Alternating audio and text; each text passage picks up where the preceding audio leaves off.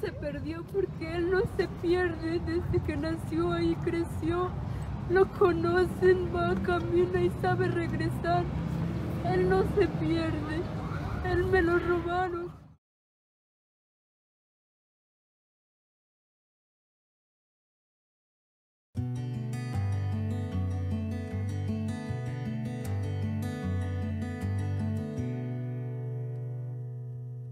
Hola y bienvenidos a todos una vez más, espero se encuentren muy bien.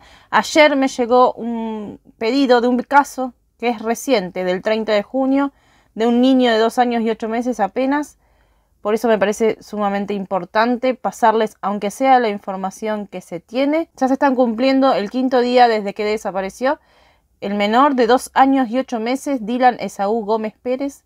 Él nació el 3 de noviembre del 2017 esto ocurrió en San Cristóbal de las Casas, en Chiapas, México. Desapareció en el mercado popular del sur llamado Merposur, como les dije, en San Cristóbal de las Casas, en Chiapas. Su madre se llama Juanita, cuenta que el pequeño prácticamente creció en ese mercado, dice que él andaba de puesto en puesto, que todos los que estaban ahí, los locatarios lo conocían, pero que en ese momento evidentemente alguien aprovechó el descuido y se lo llevó. Está desesperada, le pide a la población que la ayude a identificar a la persona que se lo llevó, que aparece en las imágenes. Es una niña. Tendrá 10 a 12 años, no más que eso. Se ve cómo se lleva al pequeño Dylan de la mano. Fueron captadas por una cámara de seguridad de la zona, de los locales que hay ahí alrededor del mercado.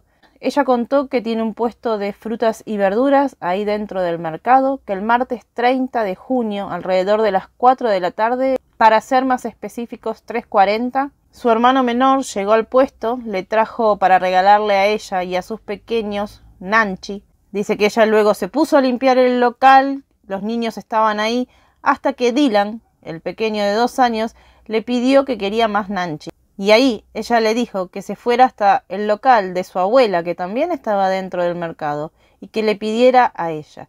Dice que él estaba acostumbrado a manejarse dentro del mercado pero dice que desde ese momento no lo vio más y el menor está desaparecido.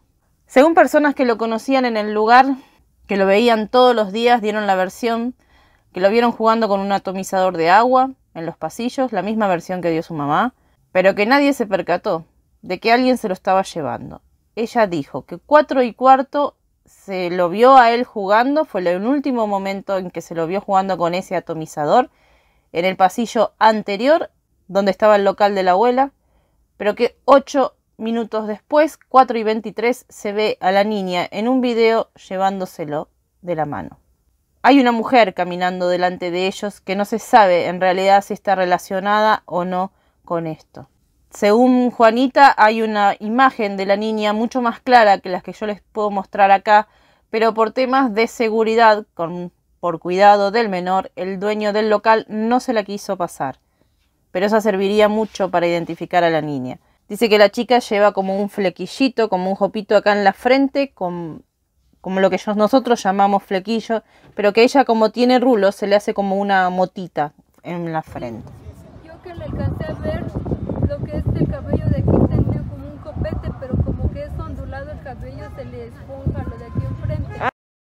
Luego de 10 minutos, algunos dicen una hora, al ver que el pequeño no volvía, dicen que se fue hasta el local de la madre, es decir, de la abuela de Dylan, quien le dijo que ahí él no había llegado, que solo había llegado su hermana mayor. Sin saber de él, empezó a hablarle a los locatarios para ver si estaba dentro de alguno de los puestos. Como le dijeron que no, todo el mercado ayudó a buscarlo. Y como no aparecía, llaman a la policía, desde ese momento realizan la denuncia, se activa la alerta Amber de Chiapas y al otro día empiezan a revisar todas las cámaras de seguridad por lo que se da con la imagen de esta joven, de una niña. Aparentemente es una niña. Dylan iba vestido, como se lo ve en la imagen, con un suéter azul con rayas color negro y gris, pantalón rojo y unas sandalias color café. La remera de la nena que llevaba también se la ve con una remerita azul que aparentemente tenía como un osito en la parte del frente. Como les dije, hay fotos que no se difundieron, pero dicen que hay una mujer que lleva un tapabocas, va caminando delante de ellos, pero no se sabe si tiene relación. En algo que coinciden todas las personas del local es en que no conocen a la niña que se lo llevó. ni a la otra mujer tampoco. Dylan Esaú, como señas particulares, dice que tiene una bolita en la cabeza, que aparentemente se comenzó a hacerla desde que empezó a caminar, se caía mucho. No habla, apenas dice algunas palabras, mamá, papá, agua, jugo, no sabe su nombre y lo conocen a él como gordo. Hay un video en Facebook que subió Liliana Penagos de Radio en Movimiento, que son las imágenes que les voy a estar dejando acá, donde la madre cuenta más o menos todo esto que yo les resumí y donde les pide ayuda para que difundan la foto. En este video la señora que hace el video aclara que no hay que juzgar a las familias porque estos niños crecen en el mercado, esta es la realidad que tienen, que desde chiquitos se manejan ahí, que pueden moverse por todos lados y que todo el mundo los conoce. Pero lamentablemente hay que tener mucho más cuidado. Las cosas no son como antes, ya no se puede dejar a los niños solos, menos con dos años. Por más seguridad que creas que tenga, por más que creas que se cuiden solos, sabemos todos los días hay casos de niños desaparecidos y no este, este caso de Dylan no es el único. Hay que pedirle a las madres que por favor tengan mucha más atención con los niños. No es cuestión ahora de juzgar a Juanita, es cuestión de ayudarla. Pero es cuestión de decirle a las demás mamás, a todas nosotras que somos mamás, que estemos más atentas. Porque hay mucha gente que está preparada y está esperando el descuido, ese segundo de descuido, para llevarse a los niños. Y esto es hoy una realidad.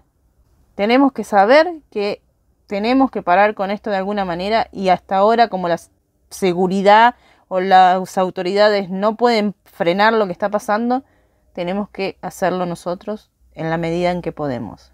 Se solicita la ayuda para todo aquel que pueda conocer a esta chica. Seguramente alguien lo conoce. Lo importante es difundirlo para que puedan verlo, pueden sacar las fotos de Facebook, pueden sacar las fotos, están en las redes de la niña esta. Alguien tiene que conocerla, tienen que hablar porque no pueden dejar que esto suceda y por cualquier información se pueden comunicar al 01800 220 2011 y también a la alerta Amber de México que es 0 1-800-008-5400.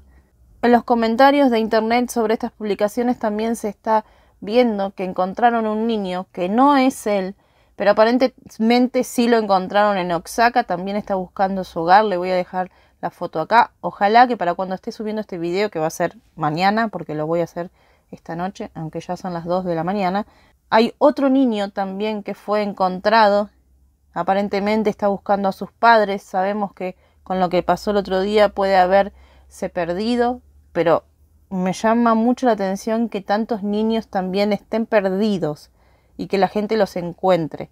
Nuevamente, tengamos mucho cuidado con nuestros niños.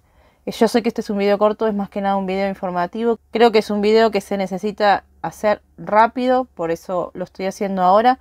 Espero que ustedes me ayuden a difundir no recuerdo en este momento el nombre de, la persona que me lo pidió, pero acá espero poder ayudar un poquito con esta información. Yo desde acá les mando un fuerte abrazo a todos, cuídense mucho, cuiden a los suyos justamente con estas cosas también, cuidémonos entre todos y yo desde acá les mando un fuerte abrazo y nosotros nos vemos en el siguiente video. Chao.